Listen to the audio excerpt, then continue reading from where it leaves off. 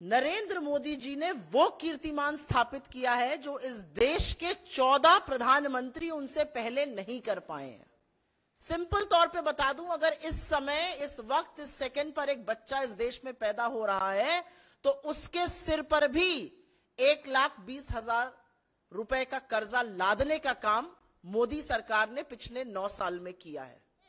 नौ सालों में सौ लाख करोड़ से ज़्यादा का कर्जा लेने का कीर्तिमान और इस देश के लोगों पर कर्जा के बोझ तले उनको दबाने का कीर्तिमान नरेंद्र मोदी जी ने स्थापित किया है। ये बड़ा सवाल हम सबके मन में आना चाहिए, क्योंकि सरकार आपको खर्रे बताने लगती है।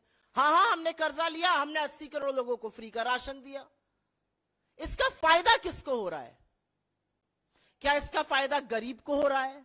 क्या इसका फ़ायदा मध्यम वर्ग को हो रहा है? क्या इसका फ़ायदा निम्न मध्यम वर्ग को, आम आदमी को, युवा को स्टूडेंट को हो रहा है? आप सुनकर बहुत भौचक्के रह जाएँगे कि ये जो इतना बड़ा बड़ा कर्जा उठाया जा रहा है, हमें और आपको कर्जे के तले दबाया जा रहा है, इसका फ़ायदा न गरीब को है, न मध्यम वर्ग को है, इसका फ़ायदा सिर्फ़ और सिर्फ़ पूंजीपतियों को है। साझा कर देते हैं, वसूली तो आप ही की जेबों से हो रही है, डाका तो आप ही के पर्स पे पड़ रहा है, आप ही के घर के बजट पर पड़ रहा है। इस देश में अगर परचेजिंग पावर ऑफ़ रुपी की पैरिटी से देखा जाए तो सबसे महँगी दुनिया की रसोई गैस भारत में बिक रही है। पेट्रोल, डीजल, एलपीजी के दामों को बढ़ाया जा रहा है। और अंत में एक बात मैं ये ज़रूर कहूँगी कि ये कहनी ज़रूरी है कि जो टैक्स वसूली हो रही है, चाहे वो जीएसटी के थ्रू हो, चाहे वो एक्साइज ड्यूटी फ्यूल के थ्रू हो, जहाँ पर आपको महँगा एलपीजी, महँगी पेट्रोल, महँगी डीजल और डीजल के महँगे होते बाकी फल फ्रूट सब्ज़ी जो सब महँगी है उसका प्रभाव आम आदमी पर पड़ रहा है। उसका प्रभाव मोदी जी के मित्र मंडली पर नहीं पड़ रहा है। धन्ना सेठों पर नहीं पड़ रहा है। और नौ साल का क्योंकि जश्न मोदी सरकार बना रही है तो ज़रूरी है कि आईना भी दिखाया जाता रहे। नरेंद्र मोदी जी ने वो कीर्तिमान स्थापित किया है जो इस देश के चौदह प्रधानमंत्री उनसे पहले नहीं कर पाए हैं। इस देश के चौदह प्रधानमंत्रियों ने कुल मिलाकर मात्र 55 लाख करोड़ रुपए का कर्जा लिया। सड़सठ साल में चौदह प्रधानमंत्रियों ने कुल 55 लाख करोड़ का कब्जा लिया। और हर बार रेस में आगे रहने की चाहत वाले नरेंद्र मोदी जी ने पिछले नौ साल में हिंदुस्तान का कर्जा तिगुना कर दिया। सौ लाख करोड़ रुपए से ज़्यादा का कर्जा उन्होंने मात्र नौ साल में ले लिया, कहा सड़सठ साल में पचपन लाख करोड़ लिया गया था। तो एक नया कीर्तिमान उन्होंने वो स्थापित किया जो इस देश के चौदह और प्रधानमंत्री नहीं कर पाए। सिंपल तौर पे बता दूँ, अगर इस समय, इस वक्त, इस सेकंड पर एक बच्चा इस देश में पैदा हो रहा है तो उसके सिर पर भी एक लाख बीस हज़ार रुपए का कर्जा लादने का काम मोदी सरकार ने पिछले नौ साल में किया है। और अगर और सिंपली बोलने पर आ जाऊँ तो हर सेकंड इस सरकार ने चार लाख रुपए का कर्जा लिया है, हर मिनट पर लगभग ढाई करोड़ का लिया है, हर घंटे पर 144 करोड़ का कर्जा लिया है, तीन हज़ार चार सौ छप्पन करोड़ का कर्जा हर दिन लिया है, हर महीने एक लाख करोड़ से ज़्यादा और हर साल लगभग साढ़े बारह लाख करोड़ का कर्जा लिया है। इसीलिए नौ सालों में सौ लाख करोड़ से ज़्यादा का कर्जा लेने का कीर्तिमान और इस देश के लोगों पर कर्जा के बोझ तले उनको दबाने का कीर्तिमान नरेंद्र मोदी जी ने स्थापित किया है। आप इनसे कोई भी सवाल पूछिए, बाकी देशों की बात करते हैं तो उस पर भी आईना दिखाना ज़रूरी है।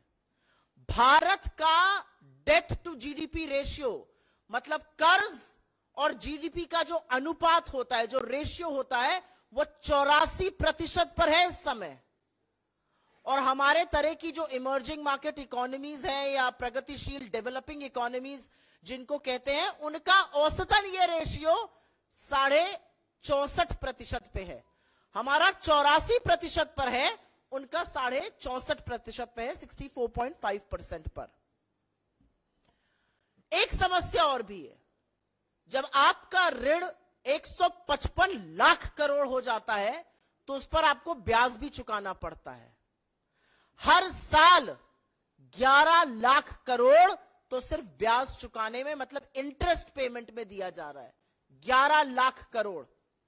उससे कितने आईआईटीज कितने एम्स बन सकते हैं, कितने लोगों का इलाज हो सकता है, कितने बच्चे कुपोषित होने से बच सकते हैं, कितनी मिड डे स्कीम्स चल सकती हैं, इसका अनुमान ही नहीं लगाया जा सकता है। 11 लाख करोड़ सिर्फ़ इस डेट की सर्विसिंग में जिसको इंटरेस्ट पेमेंट कहते होता है। लेकिन एक बहुत भयावह चीज़ हो रही है।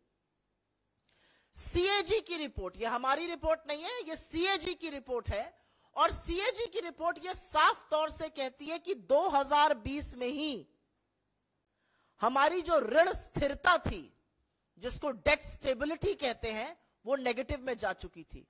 और तब डेट टू जीडीपी रेशियो तब ऋण और जीडीपी का अनुपात मात्र बावन प्रतिशत था। अब वो चौरासी प्रतिशत है। तो हमारी डेट रीपेमेंट की, कर्जे को पाटने की क्षमता पर भी सवाल उठाया जा रहा है। ये भयावह स्थिति हो रही है। एक और बड़ा सवाल है। और ये बड़ा सवाल हम सबके मन में आना चाहिए, क्योंकि सरकार आपको खर्रे बताने लगती है। हाँ हाँ हमने कर्जा लिया, हमने 80 करोड़ लोगों को फ्री का राशन दिया। इसका फ़ायदा किसको हो रहा है? क्या इसका फ़ायदा गरीब को हो रहा है? क्या इसका फ़ायदा मध्यम वर्ग को हो रहा है? क्या इसका फ़ायदा निम्न मध्यम वर्ग को, आम आदमी को, युवा को स्टूडेंट को हो रहा है? आप सुनकर बहुत चक्के रह जाएँगे।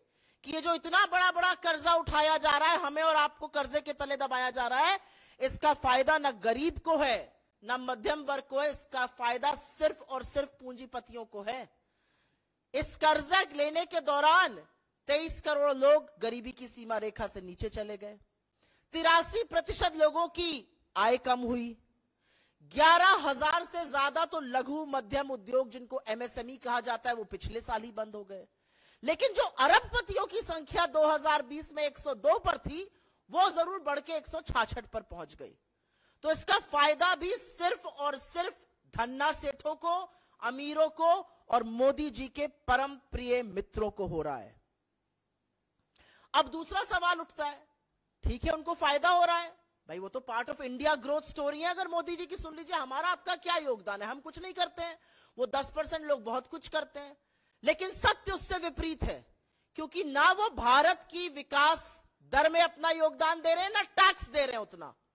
टैक्स वसूली हमसे, आपसे, गरीबों से, निम्न मध्यम वर्ग से करी जा रही है, कर्जा हमारे ऊपर लादा जा रहा है, और सारा का सारा लाभ पूंजीपतियों को मिल रहा है। और इसीलिए जो दूसरा एक मुद्दा है पिछले नौ सालों का, एक तो है कि कर्जा तिगुना कर दिया, सौ लाख करोड़ का कर्जा उठा लिया नौ सालों में और दूसरा एक है जो ये कहेंगे और कहते कहते थकते नहीं है। टैक्स कलेक्शन भी तिगुना हो गया टैक्स कलेक्शन भी तिगुना हो गया।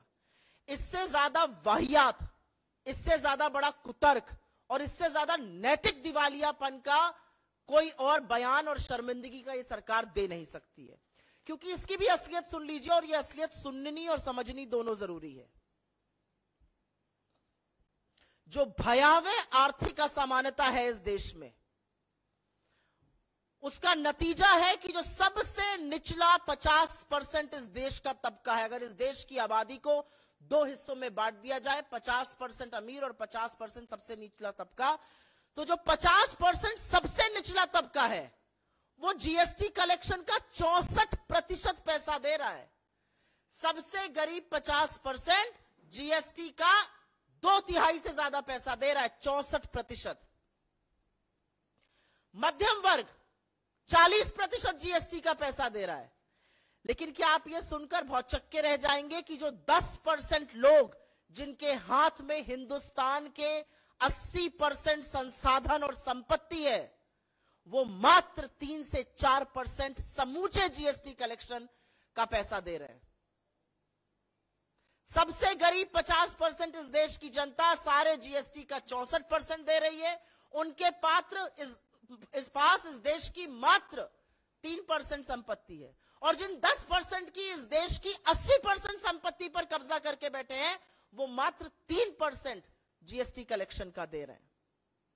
क्योंकि एक बात साफ़ है और ये पानी की तरह साफ़ है कि आटा दही दवाई पढ़ाई इन सब पर जीएसटी लगाकर जो वसूली सरकार कर रही है, उसका खामियाजा तो गरीब आदमी को भुगतना पड़ रहा है, उसका खामियाजा तो मिडिल क्लास को भुगतना पड़ रहा है।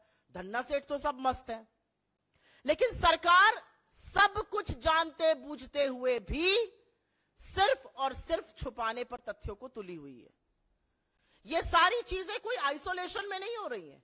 इन सारी चीज़ों का अर्थव्यवस्था पे प्रभाव पड़ रहा है। हिंदुस्तान की अर्थव्यवस्था का सबसे इंपॉर्टेंट सब जो पार्ट है वो कंजम्पशन मतलब उपभोग होता है। हमारा उपभोग जीडीपी का 61.1 परसेंट था। वित्तीय वर्ष 2022 में वो गिरकर 60 परसेंट पर आ गया है। अभी हाल ही के जीडीपी डेटा में जिसको लेकर ये कसीदे पढ़ रहे थे। ये बहुत बड़ा भयावह स्थिति है कि देश के लोग गरीबी के चलते, महँगाई के चलते टैक्स वसूली के चलते कम कंज्यूम कर रहे हैं, कम उपभोग कर रहे हैं। यह गरीबी का सबसे बड़ा सूचक होता है। और आपकी जानकारी के लिए हमने इस मंच से पहले भी साझा किया, अभी भी साझा कर देते हैं। वसूली तो आप ही की जेबों से हो रही है। डाका तो आप ही के पर्स पे पड़ रहा है, आप ही के घर के बजट पर पड़ रहा है। इस देश में अगर परचेजिंग पावर ऑफ़ रुपी की पैरिटी से देखा जाए तो सबसे महँगी दुनिया की रसोई गैस भारत में बिक रही है। तीसरा सबसे महँगा पेट्रोल भारत में बिक रहा है। आठवां सबसे महँगा डीजल भारत में बिक रहा है। तो भैया, अच्छे दिन किसके आए हैं? कहाँ है वो मायावी अच्छे दिन जो आ ही नहीं पाए हैं? कर्जे के तले हम दबे हैं, उपभोग हम कम कर रहे हैं, महँगाई से हम त्रस्त हैं। लगातार पेट्रोल, डीजल, एलपीजी के दामों को बढ़ाया जा रहा है। और अंत में एक बात मैं ये ज़रूर कहूँगी कि ये कहनी ज़रूरी है कि जो टैक्स वसूली हो रही है चाहे वो जीएसटी के थ्रू हो, चाहे वो एक्साइज ड्यूटी फ्यूल के थ्रू हो, जहाँ पर आपको महँगा एलपीजी महँगी पेट्रोल, महँगी डीजल और डीजल के महँगे होते, बाकी फल फ्रूट सब्ज़ी जो सब महँगी है, उसका प्रभाव आम आदमी पर पड़ रहा है। उसका प्रभाव मोदी जी के मित्र मंडली पर नहीं पड़ रहा है, धन्ना सेठों पर नहीं पड़ रहा है। और इसीलिए अंत में हम ये ज़रूर कहना चाहते हैं कि गुजरात के मुख्यमंत्री रहते हुए बड़ी बड़ी बातें करते थे मान्यवर। बातें तो ऐसी करते थे कि दिल्ली में बैठी हुई एक इनकॉम्पिटेंट करप्ट सरकार है। वो अलंकार, वो नाकामी के, वो निकम्मेपन के, वो भ्रष्टाचार के अलंकार अब मोदी सरकार से ज़्यादा अलंकृत किसी को नहीं करते हैं। और इसीलिए हम इस मंच से मांग करते हैं कि इस देश को कर्जे के तरह दबाने के लिए, इस देश में टैक्स वसूली के चलते, इस देश में जो आर्थिक असमानता बढ़ी है, जो अर्थव्यवस्था पूरी तरह से ध्वस्त हो चुकी है, जो ना आप सुर्खियों से ठीक कर सकते हैं, ना आप व्हाट्सएप फॉरवर्ड से ठीक कर सकते हैं। उसको ठीक करने के लिए तो आपको आर्थिक प्रबंधन पर ध्यान देना होगा। लेकिन इस मंच से हम एक श्वेत पत्र की मांग करते हैं, क्योंकि भयावह स्थिति भारत की इकोनॉमी की है और उसका जवाब ज़रूर मिलना चाहिए। नेशनल दस्तक की आपसे गुजारिश है कि अगर इसको बचाना चाहते हैं तो नेशनल दस्तक को सब्सक्राइब करने के लिए रेड कलर के सब्सक्राइब बटन को दबाएँ, फिर बेल आइकन की घंटी दबाएँ नेशनल दस्तक को बचाने के लिए बहुत ज़रूरी है कि हर खबर को शेयर करें लाइक करें कमेंट ज़रूर करें।